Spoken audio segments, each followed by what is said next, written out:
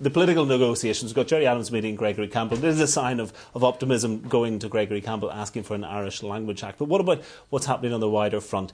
Both Sinn Féin and the DUP have been a little bit reticent about coming on to television programmes to talk about the negotiations. Does that suggest they're getting somewhere? Well, first of all, I don't really think that uh, Gregory Campbell meeting Gerry Adams is much of a sign of optimism. I suspect that if you were a fly on the wall in that meeting, um, it wouldn't be uh, particularly uh, productive, no matter which language you were speaking at the time.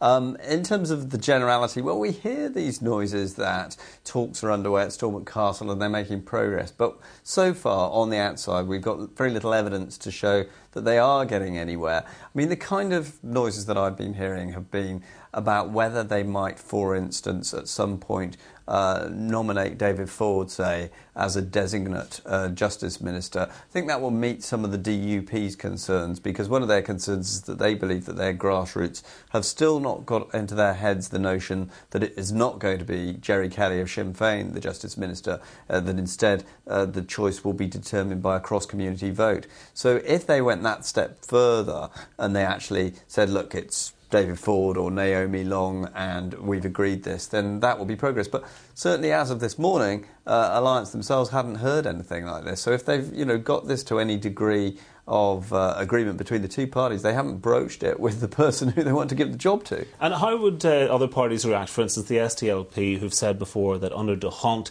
any new ministry actually should go to them. Are they likely uh, to acquiesce? Uh, well, they will complain. Uh, they clearly uh, have said that they believe that they're due another ministry. Um, this, of course, would imply that this would be the 11th pick. And in, in, actual fact, if the Justice Ministry was given out through the d'Hondt system, which is essentially just a proportional system uh, whereby you send these departments out, it's hard to imagine that the other parties would regard it as 11th on the list of their priorities. It's much more likely to be uh, first or second priority up there with finance.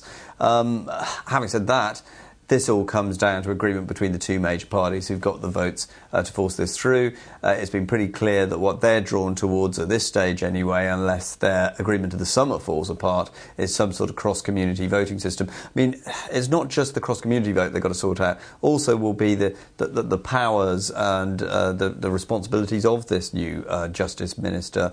Uh, should the Justice Ministry be inside the executive? I think they're probably moving uh, towards that notion. but then, should the the, Justice Minister, if you like, be in a silo so that he, if he or she makes a decision, uh, you can't have those decisions called in by, say, three nationalists or three unionists, as would be the case at the moment. So those are presumably the kind of things they're addressing in their talks, but uh, we still don't know whether they're getting anywhere. Well, indeed. Um, what about uh, our own uh, kind of ministerial easy rider, the Hell's Angel uh, of politics up here at Stormont, Sammy Wilson? Uh, I think uh, we, we, we can actually see him in action here. Yeah. Look at this. Well, he's well known as a climate change skeptic. I sort of well, thought when I heard this at the weekend that maybe he was an MOT skeptic, uh, thinking that uh, as long as the, the, the motorbike was working on a day to day basis, you didn't have to pay attention to warning signs about what might happen in well, the future. Well, I'm not sure if he is such a climate change skeptic. Surely there he's just simply uh, reducing his carbon footprint by trying to sort of be economically. Although somebody uh, told me this is one of five bikes that he's got, so maybe he's just sort of spreading it out so amongst he, a number of petrol tanks. What's he done wrong again? Remind us. Well, he uh, was snapped by one of these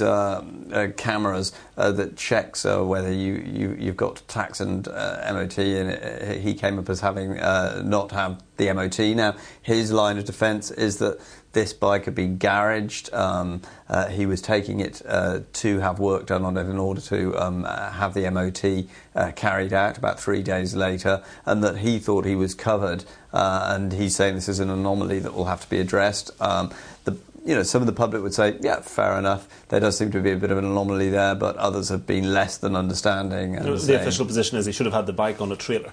Uh, yeah, but I imagine there's probably a lot of um, motorcyclists and vehicle owners who would think that you could do that kind of thing. So maybe we'll see a great Sammy Wilson reform bill coming through uh, the Assembly at some stage some, some legislation to rectify this pressing anomaly. Okay, Mark, stay with us.